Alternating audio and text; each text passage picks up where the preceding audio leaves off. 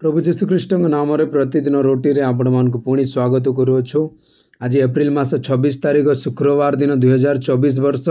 ଆଜିର ଧ୍ୟାନ ହେଉଛି ନିଜ ପିଲାମାନଙ୍କୁ ପ୍ରେମ କର। ଜଣେ ଭଲ ଲୋକ ନିଜ ସନ୍ତାନମାନଙ୍କ ପାଇଁ ଏକ ଉତ୍ତରାଧିକାରୀ ଛାଡ଼ିଥାଏ। ହିତୋପଦେଶ ତେରର ବାଇଶ ପଦ। ପିଲାମାନେ ଈଶ୍ୱରଙ୍କ ଦ୍ୱାରା ଦିଆଯାଇଥିବା ଏକ ବଡ଼ ଆଶୀର୍ବାଦ ସେଗୁଡ଼ିକ ତୁମର ହୃଦୟର ଆନନ୍ଦ ହେଉ।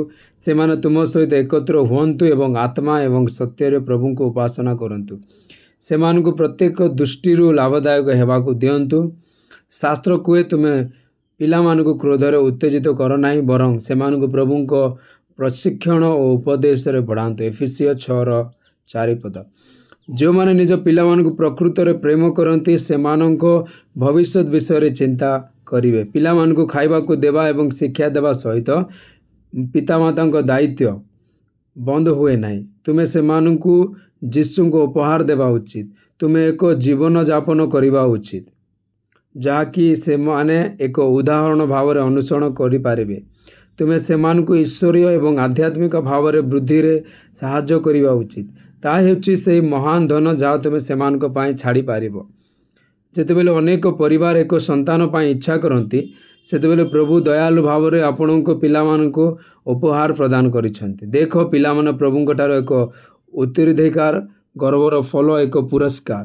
ଜଣେ ଯୋଦ୍ଧାଙ୍କ ହାତରେ ବାଣ ପରି ଜଣେ ଯୁବକ ବନର ସନ୍ତାନ ମଧ୍ୟ ସେହିପରି।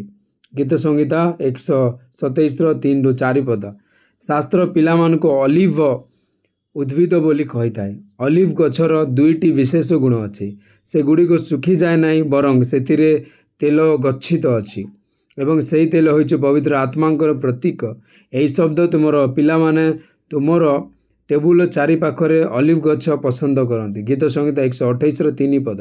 ଅନନ୍ତ ଆଧ୍ୟାତ୍ମିକ ଜୀବନରୁ ସୂଚିତ କରେ। ପିଲାମାନେ ମଧ୍ୟ ଆଶ୍ଚର୍ଯ୍ୟ ଏବଂ ଚିହ୍ନ ଭଳି ହେବେ।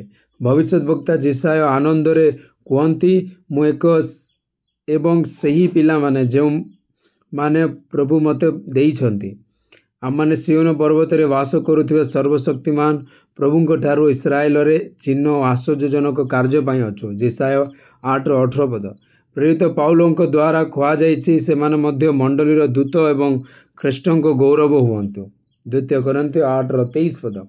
ଈଶ୍ୱର ପ୍ରତ୍ୟେକ ପିତାମାତାଙ୍କୁ ସେମାନଙ୍କର ସନ୍ତାନମାନଙ୍କୁ ଧାର୍ମିକ ଭାବରେ ପ୍ରତିପୋଷଣ କରିବାର ଦାୟିତ୍ୱ ଦିଅନ୍ତି।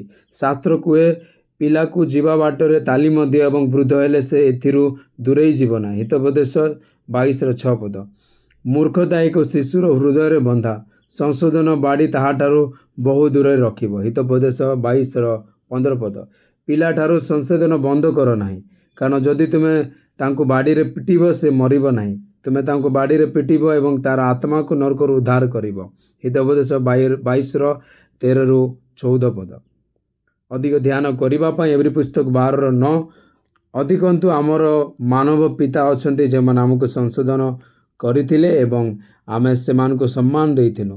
ଆମେମାନେ ଆତ୍ମାଙ୍କ ପିତାଙ୍କ ଅଧୀନରେ ରହିବା ଏବଂ ବଞ୍ଚିବା ଅଧିକ ସହଜ ନୁହେଁ କି ଏ ବାକ୍ୟ ଦ୍ୱାରା ପ୍ରଭୁ ଆପଣଙ୍କ ସମସ୍ତଙ୍କୁ ଆଶୀର୍ବାଦ କରନ୍ତୁ ଆମେନ୍